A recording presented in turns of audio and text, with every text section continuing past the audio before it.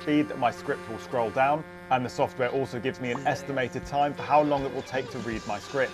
If your script is scrolling too fast or too slow, you can adjust the speed of that by going to these options in the middle and pressing the plus and minus options.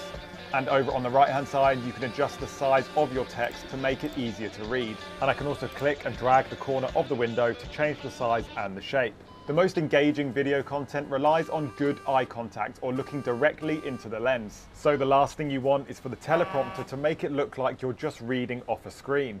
If you're using a built-in webcam to record, you're going to want to drag your teleprompter window to the top middle area of the screen, or as close to the webcam as possible. This is because if I position the script too low down on the screen, my eye line is going to be all wrong.